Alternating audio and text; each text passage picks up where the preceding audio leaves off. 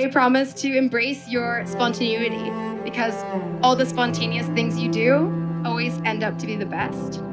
I vow to continue to be adventurous and live a life fulfilled with adventure and full of love with you.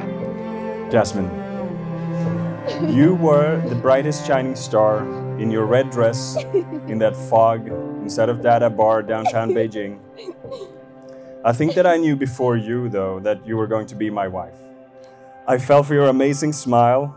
I fell for your sharp intelligence. I fell for your beautiful looks and great sense of humor. I love that you make me feel awesome all the time, and when I look at you, I see hope. The security and love you provide, it's undescribable.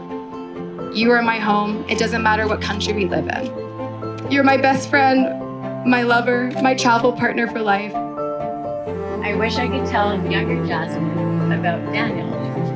It would have saved her a lot of worry. And you complement each other so well. Both have the ability to really bring people together. Growing up with Daniel, now when Jasmine is in our lives, I can't have it any better. The two of you are honestly so perfect together, and I love you so much. I hereby take you as my wife and can't wait to grow old together with you. And I love you, Mest.